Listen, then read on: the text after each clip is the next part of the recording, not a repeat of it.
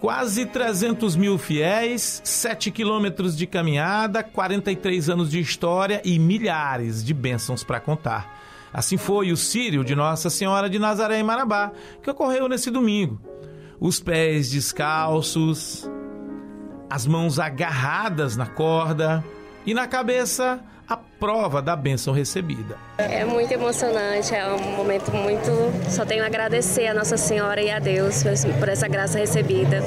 É emocionante estar aqui, é uma festa muito linda de fé. É emocionante, não tem palavras para explicar. Não há mesmo palavras, a fé não se explica, apenas se agradece. Que o diga a dona Leonice, mãe da pequena Eduarda. Ela pôs sua gratidão em movimento no domingo mais uma vez. Ela nasceu com a perninha torta e hoje, com dois aninhos, ela tá com a perna endireitada.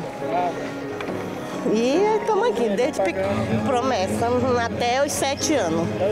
Até os sete anos. Viva, viva Nossa Senhora de Nazaré. A fé do marabaense se espraiou de novo pelas ruas ensolaradas da cidade.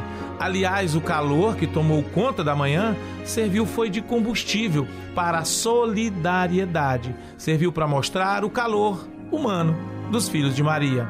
Afinal, Maria está em toda parte, seja no rio, origem de tudo, com o Círio Fluvial que aconteceu ainda no sábado. A festa da fé em Marabá se consolida a cada ano, mas não só pelos números, senão pela devoção, pelo exemplo para o futuro. Os pés pequenos e descalços mostram que muitos sírios ainda virão. E cada um será único. Afinal, por onde o povo andar, Maria passa na frente.